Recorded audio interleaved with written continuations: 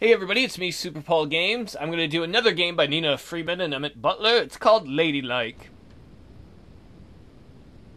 I guess we're right in the back.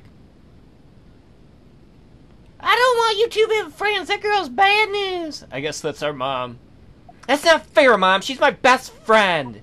All you two do together eat pizza and ice cream. You're gonna get weight, gain weight. Yeah, I like pizza and ice cream. It's pretty good. I'm sure there are other nice girls at school. I do have other friends at school, Mom. Get off my vagina! Liz is fresh. She's always swearing and talking about boys. Yeah, well, Liz is my friend, and you like boys. You did it with Dad.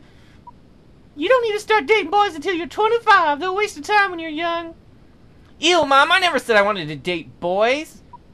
Regardless of whether or not you want to date, you need to look your best. I don't care what I look like. I do what I want, you fat face. You're just being dramatic. Ugh. You don't go to my school, so you don't know how much it sucks. Well, I saw that note in your bag. Liz was talking about kissing boys. I don't like that. It's inappropriate. That's not fair, Mom. Why are you looking through my backpack? What kind of... What, Apparently our mom has no life. I wonder what my kid's doing.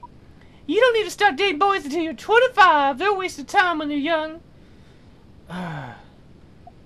Ew, Mom. I said I don't want to date boys. Um, oh, it kind of... You, you don't even care if I'm smart. You can be smart and look good. Being smart doesn't mean you have to stop taking care of yourself. I'd rather read Redwall than work out. The mice are cool.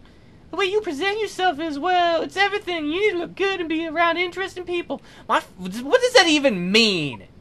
Being around the right people and looking good leads to success. It's just a fact of life. We're here now. Let's go.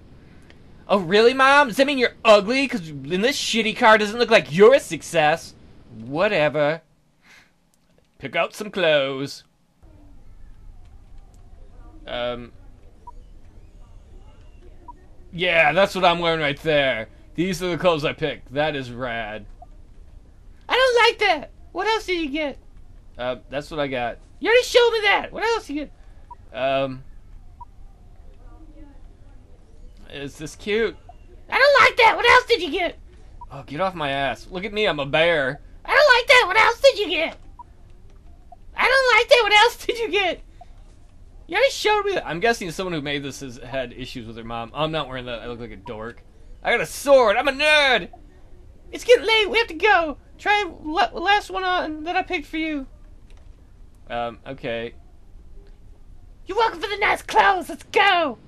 I didn't get the skull one I wanted, Mom. You make me dress like a dweeb. Those graphic T-shirts are so tacky.